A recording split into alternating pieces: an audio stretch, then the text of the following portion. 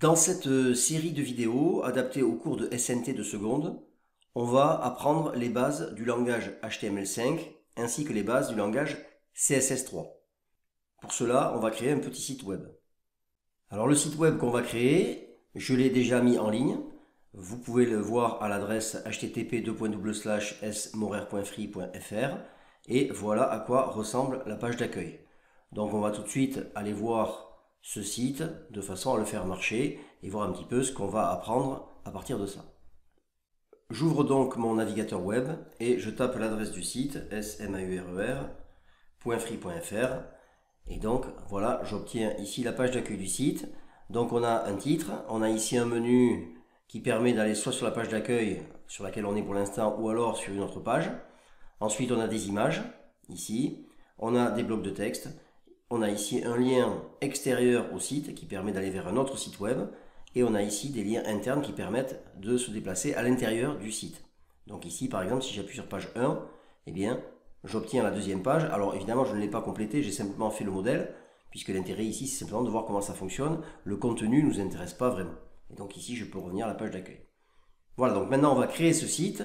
Alors pour ça, on a besoin d'un éditeur HTML, CSS, donc un logiciel qu'on va télécharger sur Internet. Alors pour fabriquer notre site web, j'ai choisi le logiciel Microsoft Expression Web 4.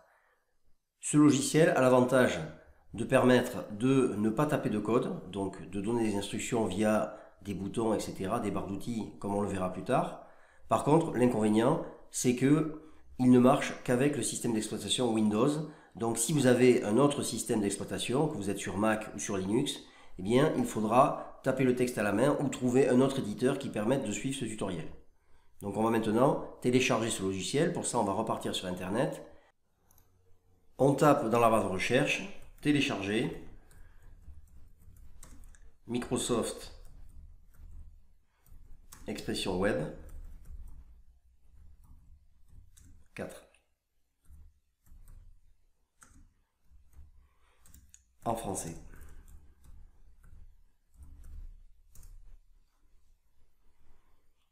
Donc ici, on nous propose le lien, le premier, ça correspond euh, au site de Clubic, donc on clique. Ensuite, on obtient la page, vous voyez, télécharger Microsoft Expression Web 4 pour Windows. Donc je fais télécharger, comme d'habitude. Et donc je patiente le temps du téléchargement et j'enregistre mon fichier. Une fois le téléchargement terminé, j'obtiens donc ce logiciel ici, Microsoft Expression Web 4, Microsoft machin, etc. en français. Donc je vais l'installer, pour ça je double-clique sur l'exécutable que j'ai téléchargé. Je fais oui.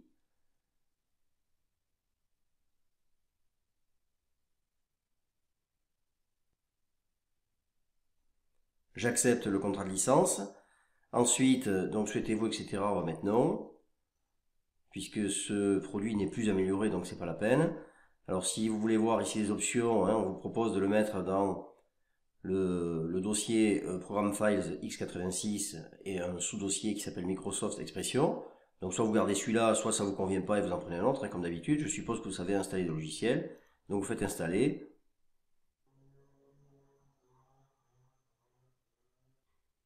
Une fois que c'est terminé, vous cliquez sur terminer et votre logiciel est installé. Donc maintenant, il n'y a plus qu'à aller dans les programmes pour le lancer.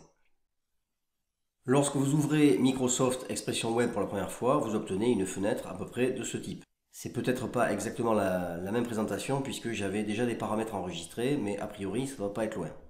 Donc ceci dit, ça n'a aucune importance puisqu'on va reparamétrer tout ça ensemble. Donc la première chose qu'on va faire, c'est regarder ce qui se passe. Donc ici, on a une barre d'outils, hein, des fichiers, etc., une barre de menu, une barre d'outils. Ici, la liste des dossiers qu'on va utiliser dans notre site. Ici, on a des panneaux, différents panneaux qui vont nous permettre euh, de nous aider à fabriquer notre site. Alors, ce qu'on va faire d'abord tout de suite, c'est fermer les panneaux qui ne nous intéressent pas. Donc, celui-ci, appliquer les styles, on l'enlève. On enlève celui-là. Voilà, il nous reste uniquement la liste des dossiers et ici, la page où on a l'éditeur. Donc ici, vous constatez que cette page, elle est toute blanche. Et si on regarde en bas, on a création, ça, c'est ce qu'on est censé voir lorsqu'on va faire notre site. Et si on le met dans un navigateur, on doit voir une page blanche. Mais en fait, si on se met sur code, eh bien on constate que cette page n'est pas vide. c'est un document de type HTML. Et on voit que ce HTML qui est là, c'est du XHTML 1.0 transitionnel. Ça, c'est la norme qui était en vigueur à l'époque, en 2013. Maintenant, ça a changé. Donc, on va commencer par reparamétrer notre logiciel de façon à ce qu'il nous fasse du HTML5. Donc, on peut fermer cette page ici. On va aller ensuite ici en bas. Vous avez option de schéma. Et donc, dans option de schéma, vous allez dans opération d'auteur ici. Et donc, alors première chose, vous voyez qu'on a la possibilité de créer des pages HTML ou HTM. Ça, c'est tout simplement parce qu'avant, une extension de fichier prenait que 3 caractères. Maintenant, on peut prendre 4, donc on choisit HTML. Ensuite, ici, on va changer XHTML 1.0 transitionnel. Et on va choisir ici HTML5, que vous avez ici. De la même façon, Internet Explorer 8, eh bien, c'est un vieux, euh, vieux machin qu'on va pas utiliser. Donc, on va se mettre ici aussi HTML5. Et enfin, le CSS, on va se mettre CSS3 Draft. draft, ça veut dire brouillon en anglais, puisqu'à l'époque, le CSS3 n'était pas encore la norme en vigueur, donc c'était une, une, épreuve brouillon, entre guillemets, qu'on utilisait euh, si on voulait, mais qui n'était pas encore finalisée.